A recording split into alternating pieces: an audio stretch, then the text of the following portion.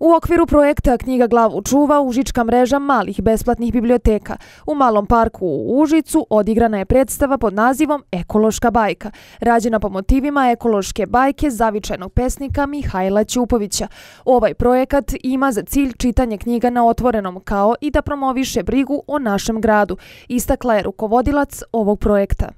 Ovaj projekat Knjiga glavu čuva za cilj ima da e, promoviše programe, kulturne programe na otvorenom, e, čitanje i zavičajne književnike. Osim toga, da promoviše brigu o našem gradu, e, ličnom zdravlju i da razvija empatiju među sugrađanima. Okupljena deca imala su priliku pogledati komad koji govori o zaštiti životne sredine, kao i kako savjesno pristupiti svemu što nas okružuje, te koliko ljudski faktor zagađuje istu tu prirodu.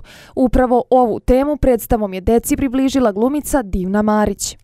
I u mojoj radionici kako se grupe smenjuju, tako svi rade ovu ekološku bajku, jer ona je toliko edukativna i toliko poruka šalje, da je neminovno da je stalno prikazujemo i da skrećemo pažnju na osnovne problema, makar kroz ovaj način. Mi edukujemo decu da je čovek takav kakav jeste, da je sklon, da naruši prirodi, da ima svoju čud i svoje mani, tako.